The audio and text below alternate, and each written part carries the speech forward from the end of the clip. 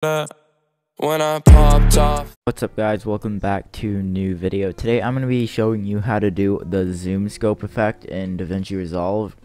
I can't say I discovered this effect myself, but I've not seen any other like YouTube videos whatsoever about this topic on DaVinci Resolve. This is like a very um very uh, common effect you see in like pretty much any well edited montages and I've not seen it used in DaVinci Resolve before but today I'm going to be showing you how you could actually use it and how to do it in DaVinci Resolve. So um, you you guys already saw the clip. So here let's just get right into it. So we have just a clip here. There's no audio for now. I might add an audio later but it's not about the audio for now first things first we have the zoom zoom in part. So we're gonna want to make that longer. So we go into retime curve. Click on the the little drop down arrow. Click on retime speed. And then we get this thing. And then we, we want to make it slow when it starts zooming in so we can have more time to work with and the effect looks cleaner. So I'm just using my arrow keys here just scrubbing through this. This is a 30 FPS um, clip I think. So 30 FPS I'd say the most you could speed it down to is probably 80% um, or like 60 I, I, let's see if 60% works. 60% seems to work fine we could probably slow that down a little more.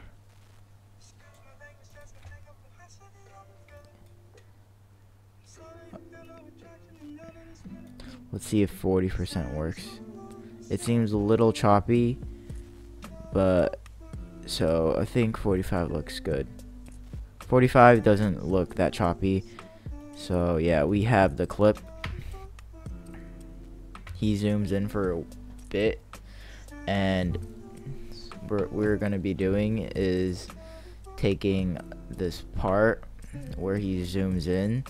We're going to cut it off right when the scope starts. So not this frame the frame after that around like here. Don't um, just start here. Like it doesn't have to be fully zoomed in yet but anyways that's good. Now we're gonna go back. This is the last frame he's zoomed in so we're gonna cut that here. And this is the only part we're gonna be working with really. So first you want to go to the color tab. And you want to go ahead and select just go ahead. Don't look at any of these. This might look different for you but you want to go to the uh, window tab. Um, it looks like this. The logo looks like this and you want to go down until you find the circle. This is the mask we're going to be working with. This is the window we're going to be working with. Um, first you want to take the um, outside one the red one and you want to drag it in a little bit. You don't you don't want it to be um gone. You want to see a little bit of it. So there's a little bit of softness left but don't do it don't leave a default because it's way too soft on the default setting. And now we just resize it so that it is around the actual Fortnite scope. Do not do it around the act like the entire scope thing because I don't know why it just looks really ugly. But here um just zoom it out and press command plus to like get a better view of it that. And then up top here looks fine. Um, yeah that looks pretty fine. Now we go to the nodes tab right click and add an alpha output. Um, this basically is just an output and you drag the blue one here into the blue um, circle here. So drag the blue one here, the blue circle here, drop, drop it, and then you can see the background is gone.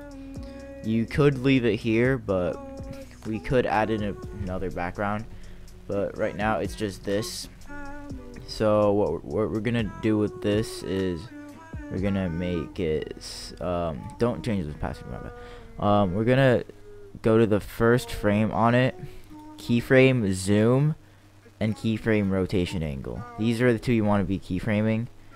And then go to around like the like almost the end part but not the complete end. Like about around here three quarters of the way through I'd say. And then you want to do the rotation angle keyframe again and go to the last frame. Um, keyframe everything again and now you just want to go to the middle frame which is over here. You want to zoom out. You could zoom in if you want but I just personally like zooming out more. And you want to change the rotation angle a little bit.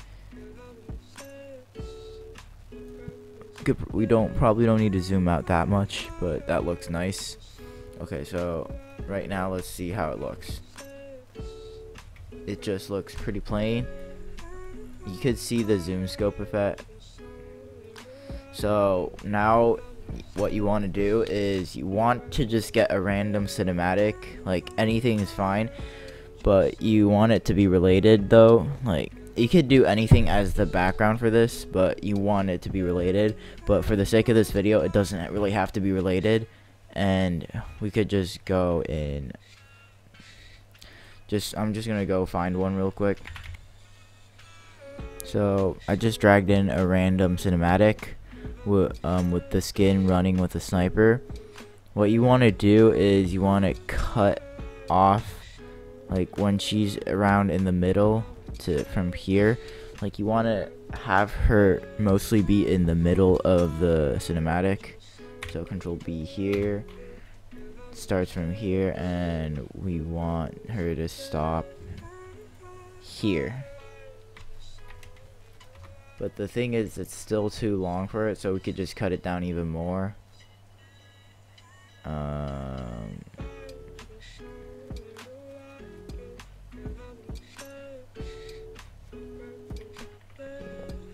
you want her the skin to be in the middle middle mostly. So here this is good. This is about the right length. We could just delete the rest of it and really just have the clip be perfectly synced over. Now this isn't good because you can't really see it but we could invert it for now. But we don't need to do that either. So really what you have to do is drag this clip over.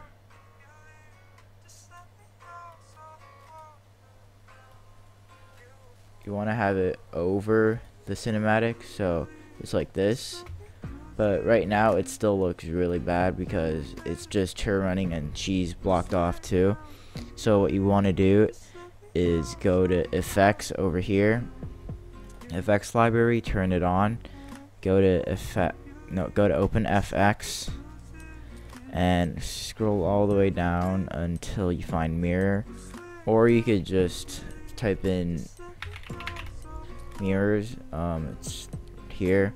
So you want to drag it onto the cinematic and let it go. So right now it's really weird but you could click on the open FX tab and you could adjust it for example, the X position probably would be good here. And you don't want this to be in the middle either, so you could just click on over here. It's the transform one. You could just drag it over here so she appears over here but then that changes the where she is so you could just drag that again so yeah that looks pretty good um, it probably won't play well because I'm recording, but it's fine. Here's, you already saw what it looks like.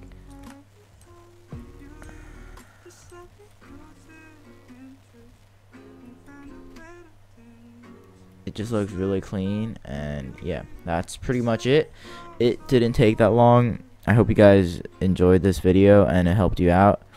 Um, this is pretty much it. I'd probably recommend putting on another color CC over this so it looks better, but this is pretty much it. And yeah, hope you guys enjoyed this video, and I'm out. Peace.